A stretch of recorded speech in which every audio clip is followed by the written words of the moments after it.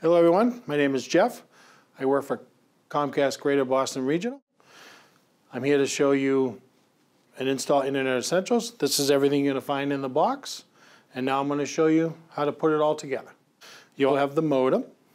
You should get a six foot cable jumper and then power cord and also ethernet cable just in case the customer doesn't have um, like a smartphone or something that you can use to hook up. The first thing I would do is connect it to the cable wall outlet. So today I'm going to use this particular setup, but you'll find in the residence units just a regular wall plate like this out of the wall.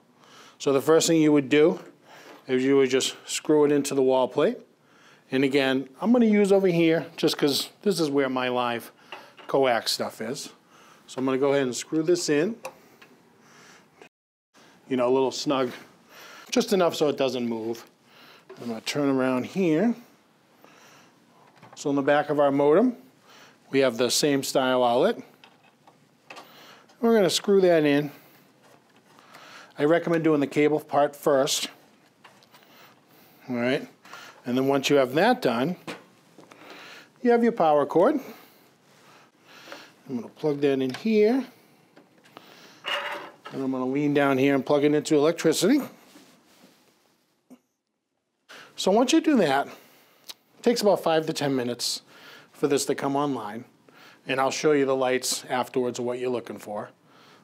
While you're waiting for that, you can ask the resident if they have a smartphone. They can download the Xfinity My Account app.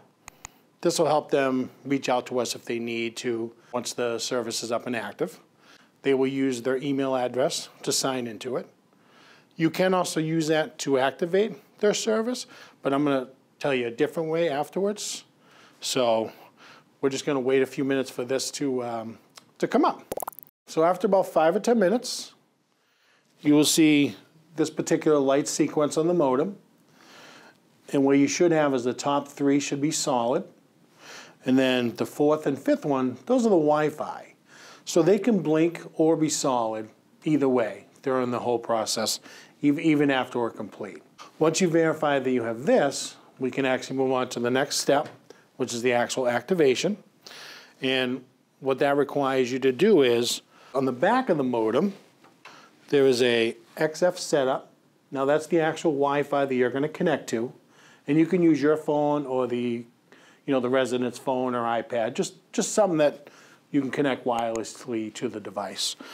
So you connect to that, and the password's right below it. So once you're connected, and you verify that you are connected, if you go to xfinity.com slash activate, and on the first page it'll say, let's get you started, and then you press the next button. And the next screen should prompt you to make a Wi-Fi name and password. So, you know, ask the resident what they would like to call it and a password. You know, I try and tell customers to make it something related to them somehow. I wouldn't use their name or address, but something related to them so that it's easy for them to remember. So once you see whatever the name they made, connect to it, verify you can go to a site. I normally tell customers like an ESPN or an eBay just to make sure they're able to get online. And once you know that you're online, you're actually done. That's the completion of the install.